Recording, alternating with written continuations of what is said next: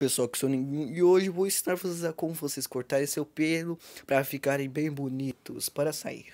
Primeiro passo: espere seu dono sair. Segundo passo: pegue o barbeador dele. Terceiro passo: ligue na tomada. Quarto passo: fique passando o barbeador do, do, do seu dono na sua cabeça até sair todos os pelos e fazer o melhor penteado possível. Quinto passo fique bonito. Então, pessoal, foi isso. Se gostaram, inscreva no canal. Entre no meu Instagram no primeiro link na descrição. E tchau!